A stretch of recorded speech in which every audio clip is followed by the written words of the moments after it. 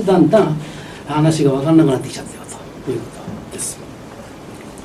えーと、これはフリードリヒの作品なんですが多分これはどっかで見たことがあると思いますけどこれは何を書いたものでしょうか？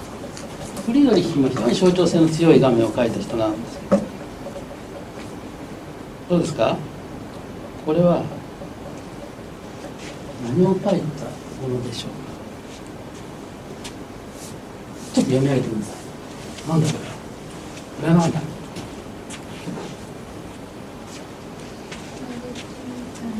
瓦礫、はい、瓦礫みたいなものがどういう状態になってます？と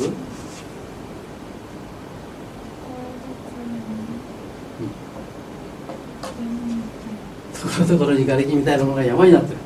そうか。地震の後だったんだ。というふうに私は言いましたけども。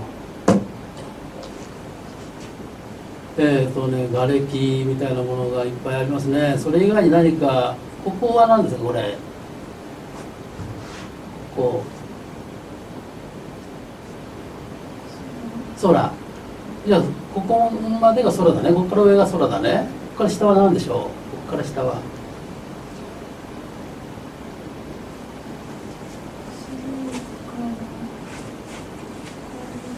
草原。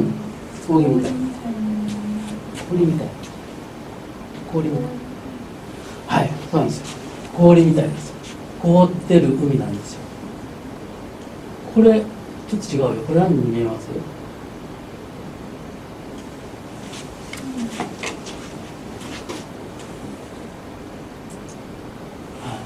拡大するとですねこうな。ってるんです船だね遭難した船があるわけですだから、えー、表現の中でですね。ありくったような表現の中で船がね遭難しているそういう絵です。フリードリヒ希望号のナンパ北海。北海の凍った海です、えー、そこに探検隊のですね希望号という船がですね艦船がね艦船が、えー、そこに調査に行ったわけです。そしたら遭難しちゃったよという史実実際にあったお話をもとにフリードリヒが描いた絵がこれなんですね。ということはフリードリヒは何を表したかったかっていうと船が遭難したっていうだけだったらそれを大きく書けばいいわけです。そうじゃないんですよ。ほんの一部分画面の一部分に入れといてむしろ、ま、周りの方は非常にねたっぷりとね状況を描写してるわけですよ。これは自然に対する人間の非力を表現しているんだっていうふうに理解できます。自然の強力な力というものの中にね、えーと、人間の力なんて船をね帆船を作って行ったんだけども一気にやられちゃってんじゃないの人間の力なんて弱いもんだよね。っていうそういう意味を込めたというふうに言われている。これがその作品なんですね。何を書いたものでしょう。象徴的な表現のちょっとまあ代表的な目黒さん。これは何をちょっと荒れてますけどね。どういう場面を書いたものでしょう。山と麓。はい。山と？ふもとふもとっていうのは大雑把だな。ふもとに何がいる？人がえっと端っこに何かを立てて人が何かを建てて家を建てて住んでいる。はいそれから？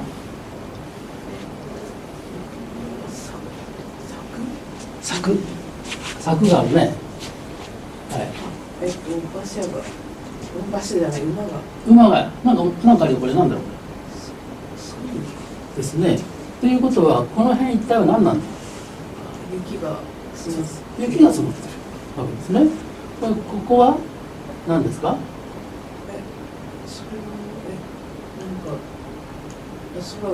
これは？雲。でかい雲だね。これはどこの地方だと思います？土地というか。ロシア。ロシア。はい。ロシアか山の上の方なんですよ。山の上の方っていうとまあロシアはまあ平原ではね大大地の平原です。山の上の方だっていうのは分かんない。これなんかこう眩しいような感じじゃないですか。スそうです。そうですスイスなんですよ。スイスなんです。スイスの画家なんですね。えっ、とねセガンチーヌという作家なんですがあの馬がいてソリが馬ソリがあると。ここで人が何かしてるということなんですが長瀬さんこの人たち何してると思います？話し合い話し合い楽しいお話し合いを朝からやってます。ということなんだろうか。えっ、とここ3人います。これちびちゃんがいるかもしれないね。ここに1人2人いるんですよ。この人たち何してるんだ？ろなんかを作って。うなんかを作って。そうだね。なんかこうやってるから作ってる。なんか運ぼうとしてるんですよ。2人で。何を運ぼうとしてる？ほらソリが。2人が運ぼうとしてる。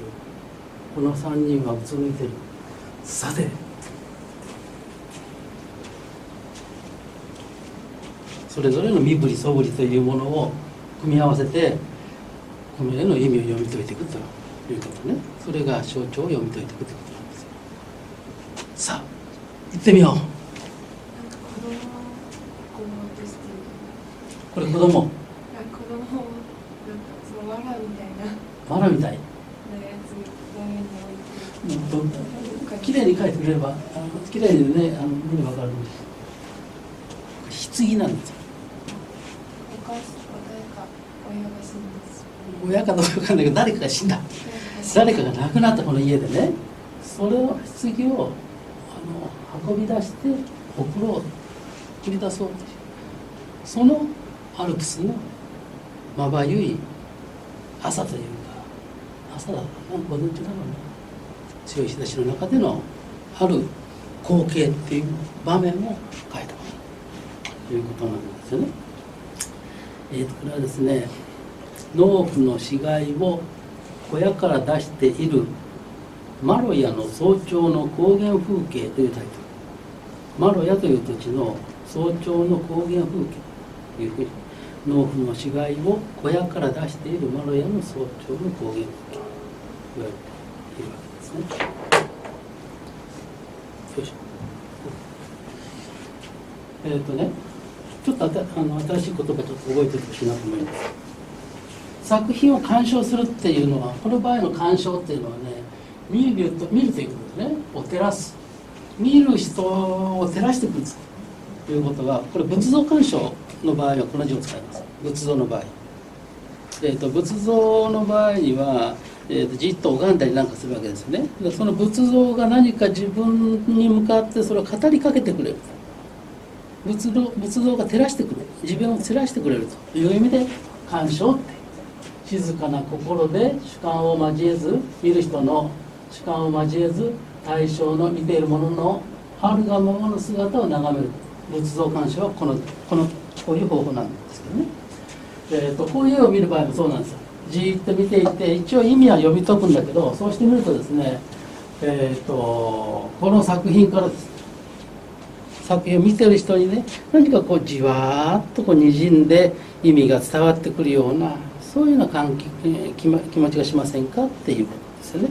感傷的、えー受け取り方とになります、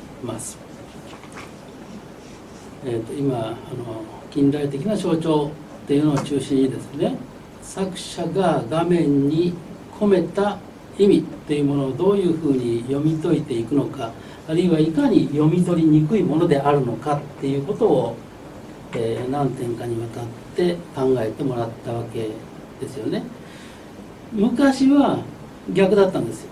見る人が文字を読むようにその意味がみんなに正確に伝わらなくちゃいけないそのルールというものを前提にして作品を作りましょうということだったわけです。ところが近代になってからは逆に作者が主体になって作者の考えというものを一生懸命出すんですがそれが、えー個人の言葉になってしまう作者だけの言葉になってしまったりすることが多いもんだから分かりにくくなってしまったという作品が次々に生まれてきてしまいましたよねっていう。そのことなんですけどね。はいじゃあまあ休憩という意味で8分か。セランチーニビデオで見てもらいましょう。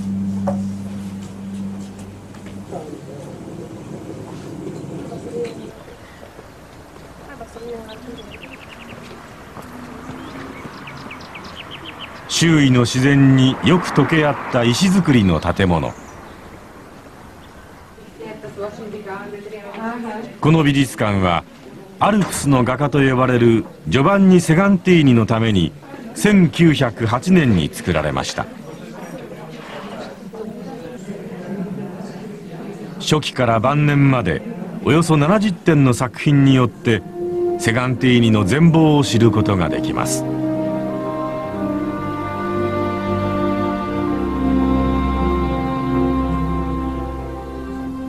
セガンティーニの代表作「アルプスの真昼」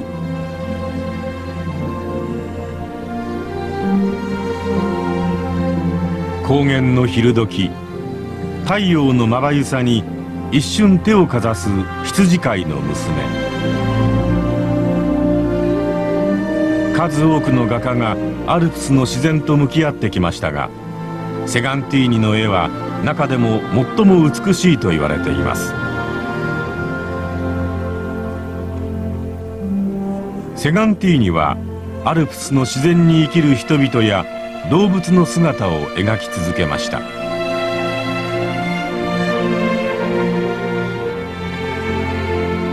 広大な牧草地の情景を描いた水を飲む茶色い目牛。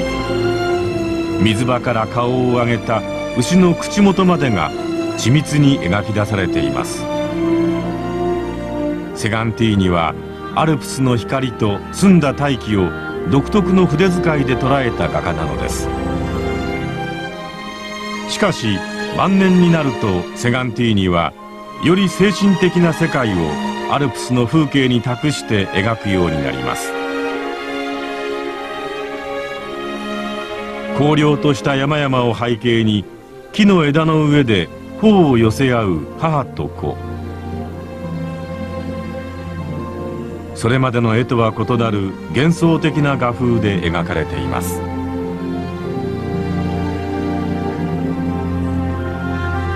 41歳でこの世を去ったセガンティーニはその制作活動の大半をアルプスに捧げました。一体アルプスの何がここまで彼を引きつけたのでしょうか。単なる自然の風景ではなくより大きな世界に目を向け始めたセガンティーニ。マロヤでそれまでの画業の集大成となる作品に取り組みます。美術館2階の展示室に並ぶ大作自然の三部作。セガンティーニの絶筆となった作品です。伝統的な祭壇画の形式をとったこの作品は中央が自然左右が生と死と名付けられています。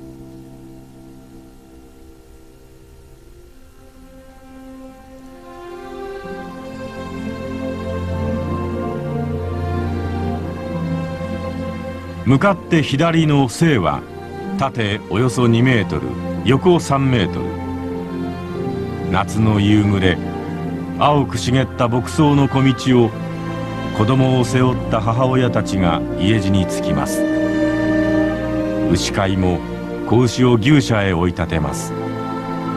一日の労働の終わりの情景です。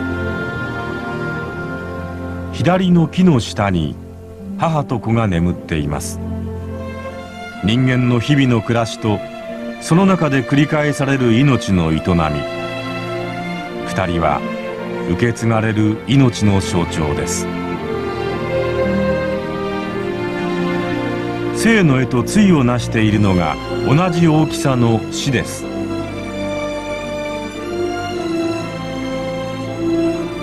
冬の早朝一軒の家から布でくるまれた遺体が運び出されようとしています。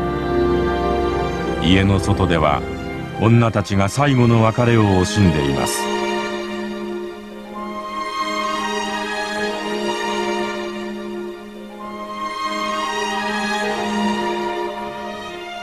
山も大地も深い雪に覆われあらゆる生命の死が表現されています。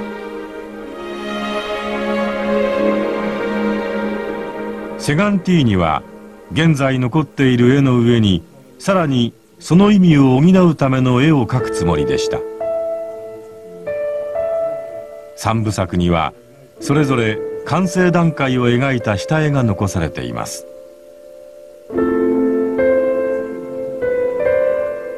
生の絵の上では風の神が死を象徴する骸骨を吹き飛ばしています。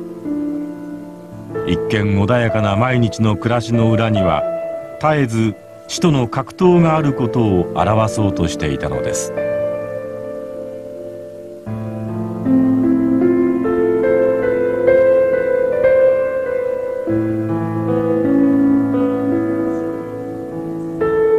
死の絵にも続きがありました。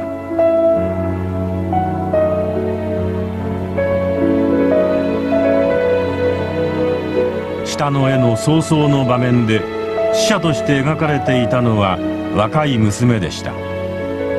その娘が二人の天使に支えられて天へ昇っていきます。地上で終わりを迎えた娘の命は天に昇り神のもとでよみがえります。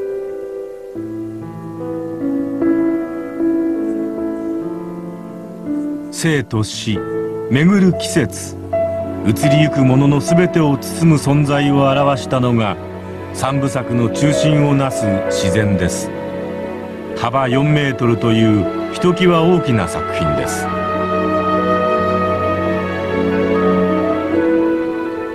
山の葉に沈む太陽はその瞬間まばゆい輝きを放ち周囲を神々しい光で包み込みます。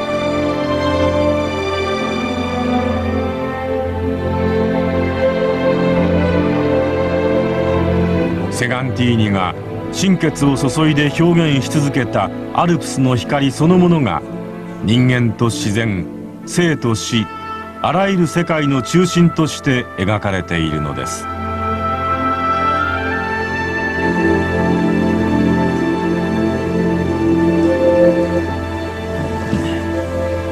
えーっとねこれはねおはようございますこんにちは。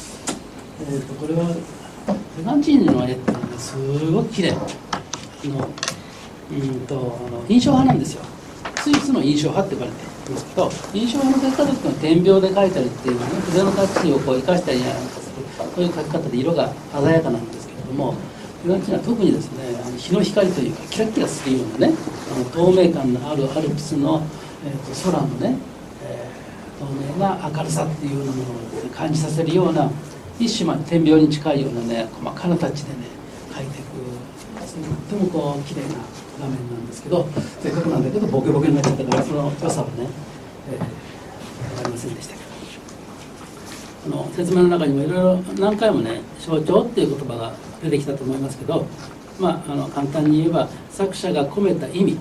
作者がその形の中に形や色に込めた意味っていうふうに考えてもらえばいいと思いますけどえそれは作者のオリジナルな場合が多いもんですから、え明確な言葉として、え発する発しているわけではないとです。あれや象徴表現は例えば、まあ、言葉をもう一回また見てみましょうというですね。それ自体ではなくその見えているもの自体ではなくて何か別なものを表しているように見なされる